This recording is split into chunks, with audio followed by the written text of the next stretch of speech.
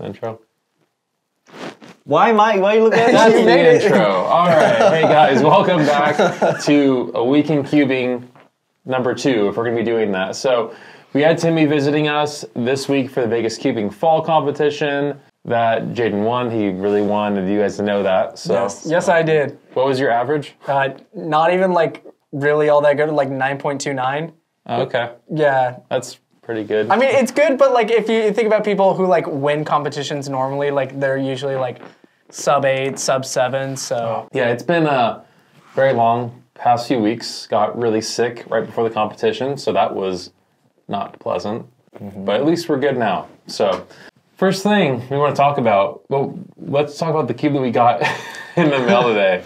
So we got the super, the Moyu Super Wei Long samples, and there's of course they can't just do one version. There's three new versions of it right. and it has a massive box. Which, if you could put that on screen now, oh, so Oh, yeah, will we're- do. yeah, at least we're not too into the video, so don't forget it. And then it has a, a, a very strange accessory choice. So I'll let you I'll let you break that down. Came with a watch, you know, like Ben 10. So now cubes, they can go on your wrist.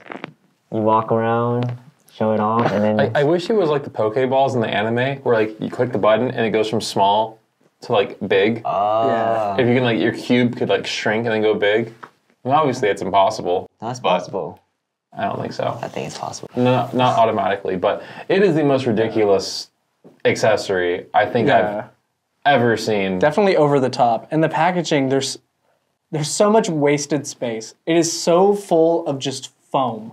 What well, what's annoying about it is the shipping cost. Yeah. It, it screws us on the shipping cost to import it, and it screws you guys on the shipping cost to ship it to you. So it's just I don't know what Moyu is doing. That's their what do we say twenty second yeah, I think think if it you came count all three, if you count all three versions, it's the twenty second three x three of 2023, and it's like the 25th or 26th of the Just a last year, spare, uh, span, yeah. It's crazy. What do you think about all this? All, all their cubes. So too much, too many cubes. I'm getting confused as a consumer and a creator of Yeah. all, all these Yeah. cubes. It's to the point where I I don't even have an opinion on them anymore. Really, like, like I'm almost I- like afraid to have an opinion because like it's going to be outdated so fast because we're going to have another cube and it won't matter. It's just absolutely crazy. Like I, I just wonder, do they have a huge backlog? Because they manufacture that really quickly, so th- that has to have been in the pipeline, like when the RSM V5 was coming out, or before that. Because to get the packaging made, all the designing, all the like watch testing, and Right. I presume they have patents on it. Right. I mean, uh, I think a patent was leaked for the watch, which is how it kind of came Yeah, I think that's how everyone kind of found out about it. And then there was pictures uh, shortly after. Yeah, I don't know. Like, I, they must just have a huge backlog of cubes, and they're just like, just dumping them out, like one after another. I mean, I am hoping that's the last three by three of this year. Of this year, yeah. If it isn't, I, I mean, Yeah. I mean, they said, or, or from what I've heard, is that this is supposed to be their flagship cube. So this is their big thing. This is the one. This is the one to get. what was the WRM V9? I don't know. It's it's just crazy what doing with all these new cubes. Um, speaking of new cubes and new releases, and I I personally am not a huge fan of listing products. It's just it's stressful, it's time consuming. I re- I released a ton of new twisty puzzles lately, which is right up your alley because you pretty much that's like your bread and butter is talking about twisty puzzles, right? Yeah, non-WCA puzzles. Yeah. What it. are like your favorites? Uh, I made a whole video about this, and so many like axis cubes, um, animal cubes. Oh, you yeah. know, those animals, rats, monkeys. Did you ever solve that lovebird cube? No, well, that's one of my favorites though. Like to look at. Bring it. Bring it next time. I'll solve it for you. All right, tuck twins. You can know. solve that. We'll find out. Oh man, yeah. Some of these products that I list, I just ask myself like, who is solving these? I should say, who besides Timmy is actually solving these? I mean, some of them are like insane. It's like it's like a work of art almost. Like those like Lee Ghost cubes. Yeah. Those are insane. Oh yeah. What's like what draws? What drew you to the twisty puzzles? Is it just the content, or do you actually like them? I outside like of them. I bought a lot of them before I even made content. I think it's just interesting. It's interesting to show to friends that come over. Yeah. Yeah, I used to do cuboids back in the day, but I didn't really venture out too far past those. I think if mm. I under, because like for the solving solution, is it mostly, do you look up tutorials online or do you figure it out with knowledge you already have? once you get once you get down the rabbit hole, there's no tutorials for those puzzles. So you kind of mm-hmm. just have to figure them out using mm-hmm. commentators or like some past knowledge from other puzzles. But sometimes there are tutorials. One of the ones I listed actually said there's no tutorial this time. Like you have to find it. so one is that? You I. I don't remember. It was recent. I'll have to look. I want to buy it. It, it was a Calvin's puzzle though. I want to get it. But yeah, there it's just it's crazy. So I know I've been trying to expand into the twisty puzzles for a long time. So I'm glad I'm finally just doing it. It's just it's a process. I mean, you've been Yeah. with me on some of those late nights where I'm just sitting Yeah. there cranking them out. It's like the the pictures and editing the pictures, posting them, and trying to write a description that's half decent and descriptive. And then the stress of me not being a huge twisty puzzle guy, getting the description right. So I'm gonna start writing those by you. Aside from twisty puzzles, I know you're eager to talk about those magnetic core kits. Have you tried Oh, those yeah. yet? Magna Core, you know. Have you seen them? Yeah. Yeah. Have you tried Yeah, it? those those things I think are, I I think they came at like just the right time because I've at least from what I've seen when I've been to competitions lately, is it seems like a lot more people are getting into uh, those bigger puzzles, and I think it's just because you know times are getting so fast on the smaller ones, two, three, and four, uh, but we're getting magnetic core kits for you know four x four, five x five, six x six. I've seen some for uh, Pyraminx and Skewb, uh, which is really cool. So uh, it's just making the cubes a bit more stable. I know personally for me, I like to keep my kind of bigger cubes uh, a bit more on the looser end of things. Uh, just because they turn a little bit better, but with the magnetic core kit, it also adds extra stabilization. So uh, less likely to pop, less likely to overshoot, just overall better performance, uh, which I think is great. I'm glad we're finally getting uh, big cube improvements, even if it's not you know straight from the manufacturer like Moyu or Chi. But Well, uh, Diane did it. They added it in the new Megaminx. oh, that's true. Yeah, that's right. Yeah. Yeah, which we're still waiting on as of right now, but super excited to try it. Cubing factories are just like some of them can be so difficult Yeah. to work with. I know Timmy and I talk about that all the time. How like you were saying that. Um, Again? Oh well, yeah. You can talk about that if you want. Yeah, again, or like trying to send me products. I'm like, what products? Sorry, we can't tell you. we just need to send you. I'm like, okay, I don't want the product then because I don't know what I'm getting. Yeah, it's. And I know too. Certain factories, like they will uh, like blacklist you if you like don't make content in a certain amount of time, and it's like it's really hard because as the store owner, whenever I get the samples, like I send them out to some people, um, and then you know who I'm talking about. If Yeah. they don't make the freaking video for like months, uh, I, I I take the heat for it. So Right. it's really tough. I'd say if you want to be a cube tester, leave a comment, but I realize that's going to open up Pandora's box. So Yeah. hold hold that thought until we get a little bit further on in this video. We're talking about sponsorships a little bit, but I guess like what's your because you order a lot of your cubes like the weird twisty puzzles ones, and now, now now that we have a lot of them, I know you, we can give them to you now, but like. Do you work with a lot of factories directly? No, I just buy them off of it. Yeah. I have a lot of spendings. I know. It's like it's funny because that's you're partially the reason why we I pushed to the Twisty out. 'cause I'm like you're one you're one of the only people I know who's sponsored by Cube Store that still spends so much money on cubes. and didn't you say at one point you used like to support the uh, cubing industry or something? I like this. Yeah, I like to support like, like, if I, I care for something, I will support it by buying it. Like, Yeah. I don't want a discount or anything. I just want to support it. Yeah. I guess should we talk about sponsorships now? About the incident that just that you actually made me aware of it. Yeah, and he also Yeah. knew about it too. So, yeah, we're at the competition, and uh, Timmy, why, why did you show it to me? Like, right, like, did you just see it for the first time at No, that it was on my homepage. Oh, and, that, and that was the first thing I saw because it was uh, the thumbnail, if I'm allowed to say, was Yeah. uh, X Yeah. over SpeedCubeShop. So I'm like, wait, what did they do? I'm at a SpeedCubeShop competition right now. so I gotta know what's going on. So I showed it to Cameron. I didn't even watch the video. I just AI it, giving me a summary. and Yeah. I showed it to Cameron. yeah, that's like Timmy's thing. He's like AI's vi- like like we were hanging out last night, and I'm like, what are you doing? He's like, I'm too tired to watch the video. So I'm just gonna AI it. and I'll just read It's about some the video. scra- yeah, it transcribed me it. It was like But- But yeah, so Timmy shows me this video and I instantly recognized the name because pretty much what happened is this person reached out about doing a project together. And again, I'll keep this vague to not like drag this person um, through the mud, but they they made they reached out to us about doing a project together. I said, cool. And then they started trying to tack on the sponsorship.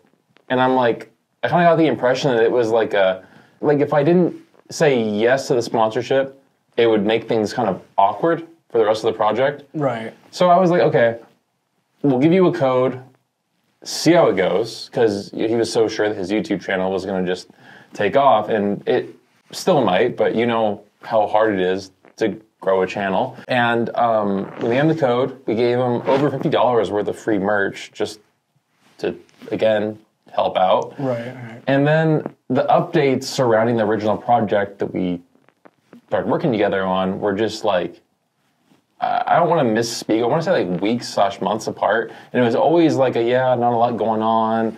Been busy with this, this. Like there was never really any updates, and I was just like whatever. I mean, being patient, and Right. I know how it is to get busy with things. Um, but I actually even saw they reached out asking at one point if they were sponsored, and our sponsorships coordinator straight out said like you are not sponsored on April 14th, I think it was. Just confirmed like you are not sponsored, but like we're just you know, like like, like an extended trial basis, pretty much. Right. Right. And uh, yeah, so I was really surprised to see him take the tactic of like clickbaiting and kind of twisting the story around and just completely dragging us through the mud as like the store. And then I reached out via email to try to sort it out. Never got a response. Left a comment on the video after a few days. That got acknowledgement. Then re- then replied to the email, and then actually asked me about um, working together on a new project. And I'm just like, that's. I'm not gonna say like. I I mean, it's just kind of like mind blowing that it's like I, I don't know. A lot of people that ask for sponsorships just don't seem to understand like the big picture that you probably shouldn't like. Uh, what, what, what's like who on a company Right. that, that you're trying to get something from? People forget too. There's no shortage of people that want to be sponsored Right. there are uh, probably hundreds, maybe thousands of channels that have between the 250 and under subscriber mark, which is kind of like the hot spot of people that want to reach out and get a sponsorship. And it's just about providing value. That's like what I try to preach. I made a video on this whole topic.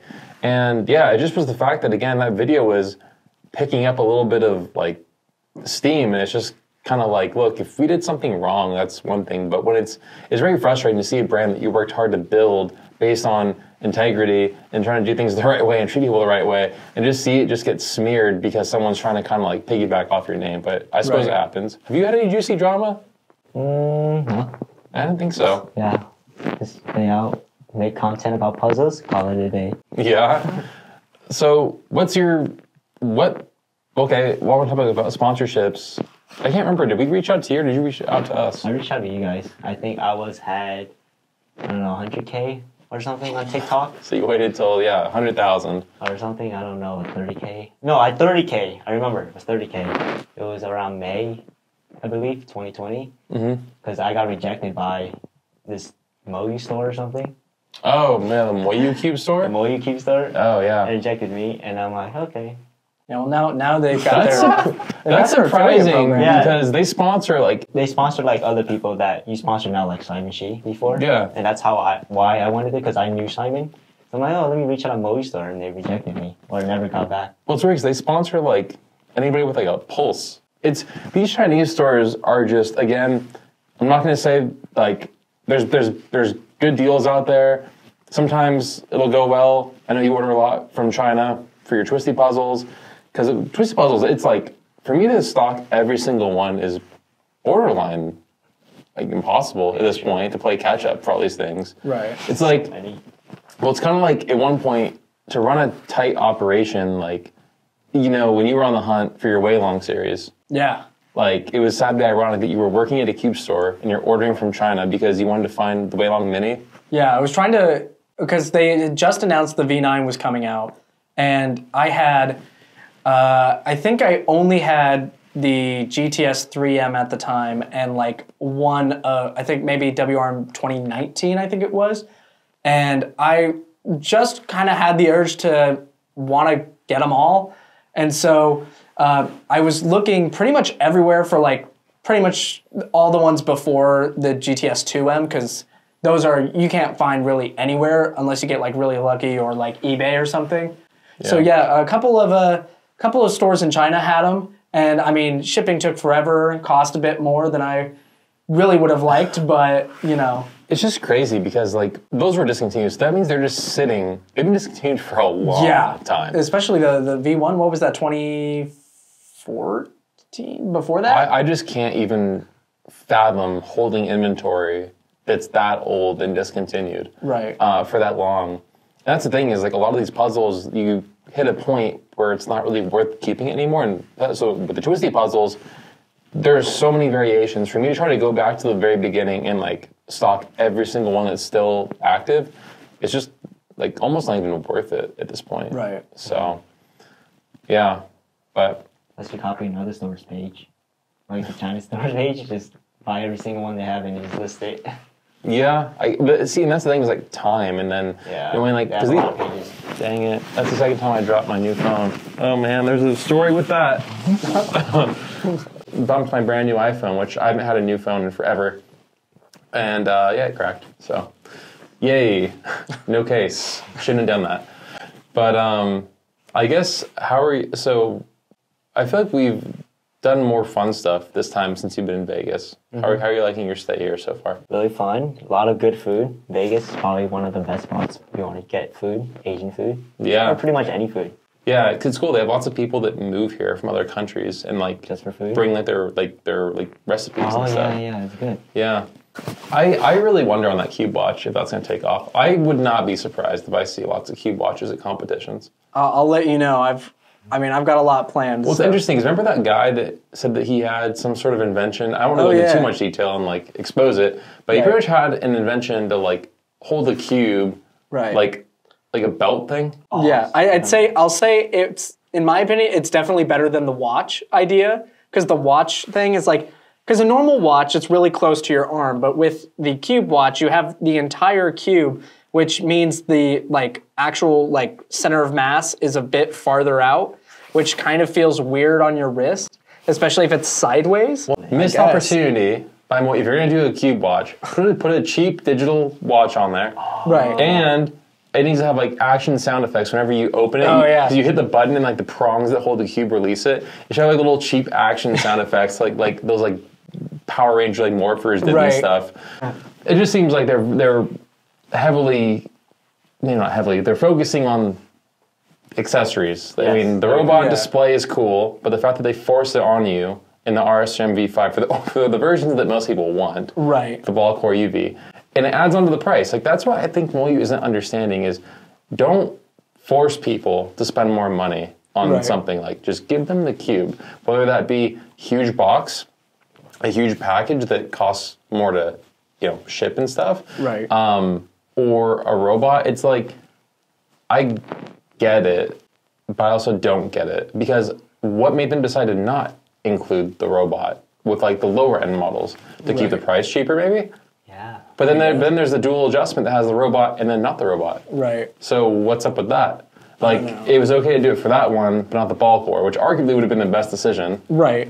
I, I just I, I don't know. Bring Mo oh, on the podcast if you want to talk about it. Yeah, seriously, we'll go to them. I heard a rumor. I'm gonna leave it. It's not. It's, it's not a rumor. I'm gonna say it's a rumor for the sake of exposing people. Allegedly. Moyu's trying to compete with GAN. I don't know how releasing all these. Like, I don't know if they're trying to do like a like a flood the market, so it's just all you hear about is Moyu, and that's their strategy. Maybe. But they're pissing people off, Yeah. including myself hmm. and creators Yeah. and consumers. And again, it's also just making it more confusing. Mm-hmm. Like with the RS3M V5, uh, Wei Long V9, changing up the names and stuff. when they made the RS3, I can't remember these anymore. The Super RS3 V2, and that was more expensive than, than the WRM V9. Yeah. It's like, what are you doing with like? It's like a brand crisis. And then Yeah. Mofang Jiaoshi exists, but now doesn't exist. Right. Because Like- like, all the RS3Ms, they have the Mofang Jiaoshi logo, but they're So will this Moyu. Moyu. Yeah. It's just confusing. Mm-hmm. like, Yeah. it's really, really confusing. Yeah. Hopefully, going into 2024, maybe like slow it down a little bit. Maybe have like, Like- like two or three cube releases that are three by threes. I was okay up until the RS3M V5. It was excessive, but it was kind of like a reset. Like, okay, we're back to an inexpensive RS3M. I, I could live with it. But Right. then this new one just like kind of annoyed me, which is why we had to make the cat meme video. Yeah. It's It was so relatable. That's like exactly how I felt. If you don't know what I'm talking about, I don't want to say we're going to throw it on screen for sure because it might be missed in editing, but maybe we'll throw it on screen. But it's just, oh man, you suddenly rip, want to like rip out your hair. Yeah, it is more like, what do you say about these cubes anymore? It turns nice. yeah. It has more accessories this time, a watch instead of a robot. Here's a cube review 45 degree corner cutting, magnets, moderate strength mostly. It's fast, may or may not lock up, Uh-huh. UV coated, stickerless. Yeah. And then it's personal preference from there. Like, Yeah. get the cube. If you like fast cube, get it. If you don't like fast cube, slow it down.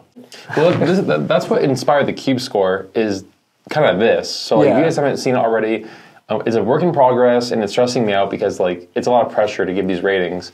But it's called Cube Score, link down below, and I'm just trying to rank all the main three by threes that come out based on the same metrics, so you can have an idea of at a glance where they excel or don't excel. Right, and you can essentially just compare them to other cubes. So, like, let's say you have the GAN 13, you can check the cube score. If you like the GAN 13, but you're looking for better something in one category or another, you can look at cube score to see if there is a cube that matches the GAN 13 but has a better stat in a certain category.